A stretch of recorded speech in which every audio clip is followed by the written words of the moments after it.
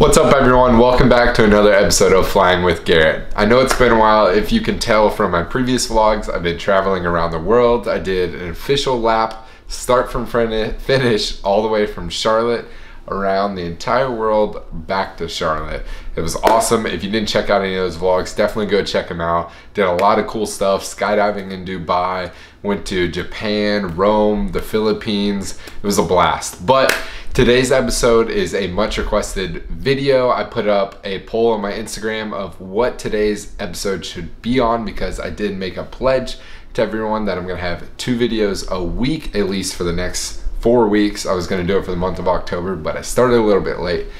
And today's episode is, is it too late to be an airline pilot? Believe it or not, my demographic on Instagram, a lot of them were like older guys in their 40s and some in their 50s asking, hey, is it too late for me to be an airline pilot? And I'm here to tell you, no, it's not. I'm gonna read you a stat real quick from the Gamma Data Book, which I'm not sure what that is, but I've got about four different articles here that have all said range from 49.9 to 53 years old. This is in 2017. They said 53 years old was the median age of pilots at major airlines, and these major airlines in, include United, Delta, American, and Southwest. So, what does that mean? 53 years old. Well, for those of you who aren't familiar with it, 65 years old is a mandatory retirement age for airline pilots, for anyone flying under 121, which is the airline industry basically, in the United States. So 65, mandatory retirement. It doesn't matter if you can still hold and obtain a first class medical, but that is just the regulations. So what all comes into this retirement and, um, you know, this 65 you know, the day you turn 65, you're done.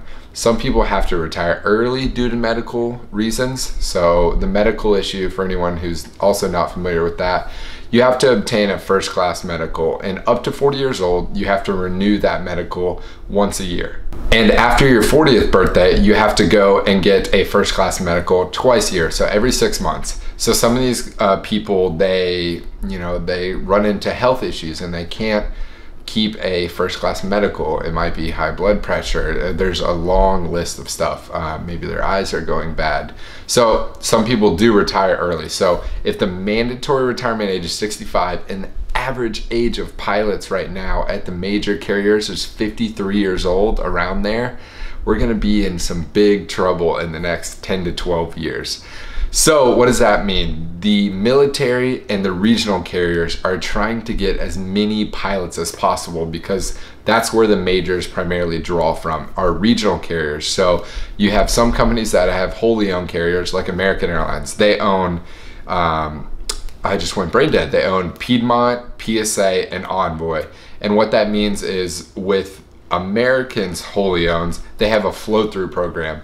So you come to one of the regional carriers and you fly for anywhere from four to seven years, depending on the carrier and flow time. So four to seven years and you're on with American Airlines. Now Delta has something similar, but it's not a guaranteed flow through. I believe some of those, I'm not familiar with it, but it is like a guaranteed interview with Delta Airlines. I believe uh, Endeavor is one of those. So um, American has the three wholly owns, and then Delta has Endeavor, which is like a guaranteed interview with Delta, basically. So that's their way of uh, kind of incentivizing pilots to go to those certain regional carriers because maybe if uh, American is your final destination one day, one of those three wholly owned sounds awesome, you know, because that's a guaranteed ticket to American Airlines. And also, if you go with Endeavor, that definitely increases your chances of working for Delta one day. So, is it too late for you to become an airline pilot? And like I said before, the answer is absolutely not. And I'll tell you some of my experiences of why I believe it is not too late to be an airline pilot. So my last four day trip, my first officer was probably 45 to maybe even 55 years old. And he, this was a second career for him. He was an NYPD cop for, I don't know, 25 plus years. And he retired from that and decided to come and fly airplanes, which I think is phenomenal. And this isn't the only one that I've flown with who decided to come and pursue aviation as a second career. I've flown with plenty of guys who haven't flown in the last 20 plus years and they just stumbled into a airline career fair. Maybe they got tired of their job or or who knows. And they just decided to go get an IPC, which is an instrument instrument proficiency check, get recurrent in an airplane, go out and fly some, you know, Cessnas again, knock all the rust off, and then go and interview. And a lot of these airlines, like I've said before, we're going to run into this big pilot shortage in the next 10 to 12 years where these major carriers are going to have to replace half of the airline.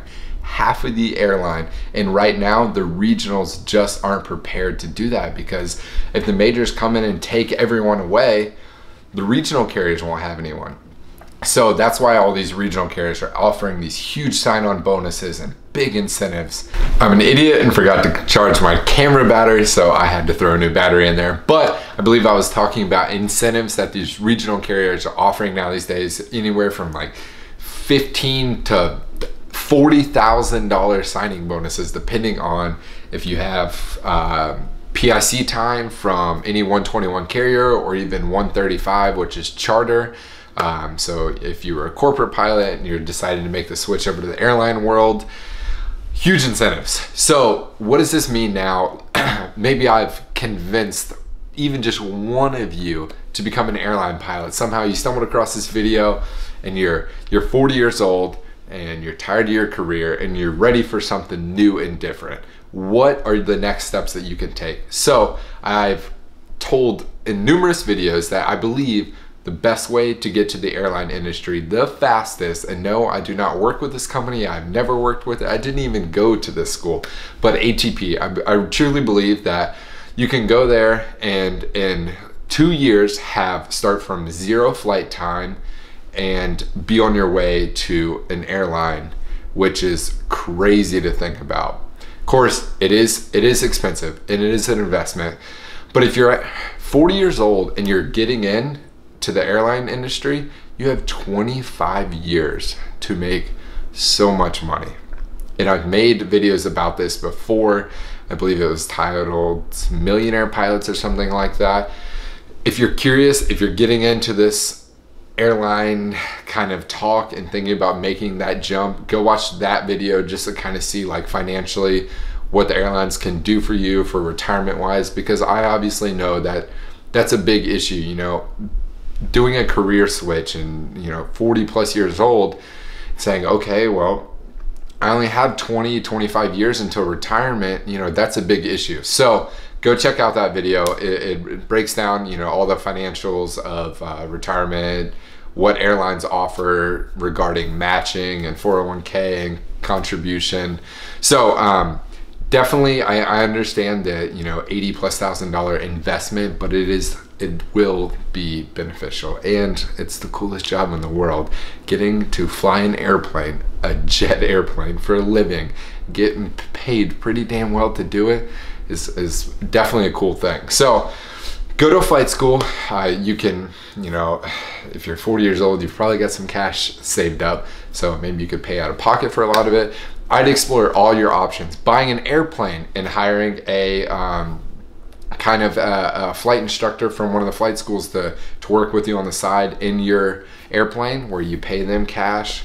You know, that, that works out. Um, just definitely do your research, but I do suggest ATP as the quickest zero time to airline pilot there is. And then, of course, whenever you start looking at the regional carriers, that is where you're going to start. If you are making that career change and you have no aviation background, you will start at the regional carriers.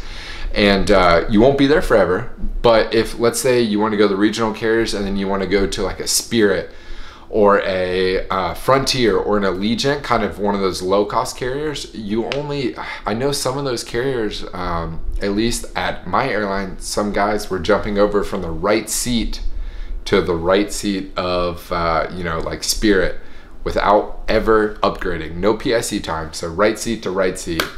And so those are great careers as well, especially if you're not, um, because they, they pay really great. What separates what I would say what separates like the low cost carriers pay versus the you know American Delta United is once you start getting way up there in your seniority those guys start making a lot of money and that really pulls away and differentiates between you know like a a wide body captain 777 330 350 you know those those people to you know, um, one of those low cost carriers where they don't have the wide bodies, but it'd still be an absolutely phenomenal career. And I couldn't be happier at where I am. Um, yes, I know, of course, I'm 26 years old and um, I hit the wave perfectly, but I've, I've been in the aviation world a long time. You know, my just background, my father has been with one of the major carriers for 35 years, 35 years and uh, my grandfather retired from a major carrier. My uncle flies corporate.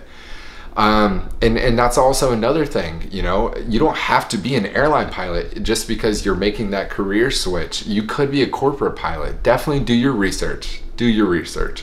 So um, I hope that's answered your question. Um, like I've said before, I've flown with you know, I've only been a captain for six months and I've flown with a bunch of first officers who this is their second, sometimes even third career. So um, 40 plus years old, no problem. You've got 20 plus years of of getting to do the best job in the world. So I hope you guys enjoyed this video. If you like these Flying with Garrett episodes, throw it down in the comments below of what you would want to see next episode. Please smash that thumbs up button for the YouTube al algorithm. My views have been kind of down the last few videos, but it happens, it goes in waves. So definitely smash that thumbs up button. And if you're new here, hit that subscribe button.